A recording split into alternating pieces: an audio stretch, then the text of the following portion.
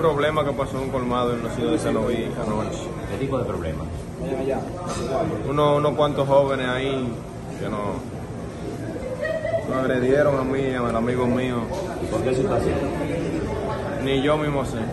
¿Cómo así? Solamente nos defendimos porque ya que vimos el problema, tenemos que defendernos obligatoriamente. O sea, fue defendiendo a alguien que pasó eso.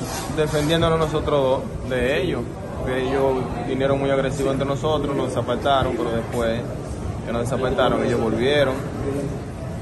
Y no fue que nos dieron oportunidad ni siquiera hablar ni nada, solamente ellos nos entran a trompar botellazo y Pero dime, dime algo, todo tiene un origen, un motivo de ser.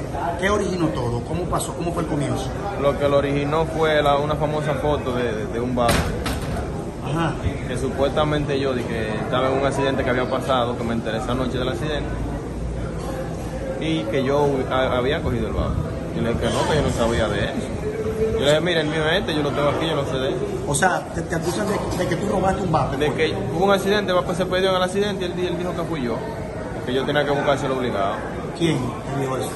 Un jovencito ahí que se llama Miguel. Después de eso, ¿qué sucedió? Después de eso, él agarró una botella y me iba a dar con la botella, entonces él lo desapartaron. Cuando yo entré al colmado, compré otra cerveza que me iba, entonces venían entrando toditos. Entonces, ¿dónde Tía, mamá, primo, sobrino, abuelo, todo el mundo. ¿Y dónde fue eso? Los niños de Sanoví. ¿Sabe los nombres de ellos? Yo me sé los no, saco no mayormente por apodo que conoce a la gente. ¿Cómo le dicen a ellos? Aquello, al, que- al que me dio el botellazo y ese se fue, ni, ni yo mismo sé, porque eran tantas cosas juntas, tantas botellas juntas que uno ¿Y el, no y el nombre tuyo cómo es?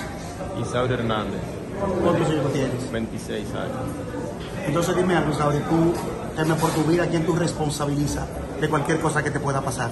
A ese muchacho Miguel, porque fue él el que fue como un toro, braviando. Entonces yo viejo, pero deja eso, que yo no sé de eso. Entonces cuando yo vi que ella me agarró por el pecho, que me tiró de trompa y yo me tuve que defender obligatoriamente, porque si no, me iban a matar. ¿Y dónde fue eso entonces? Pero haciendo se no vi, antes de llegar al chucho. ¿Qué tú haces, mi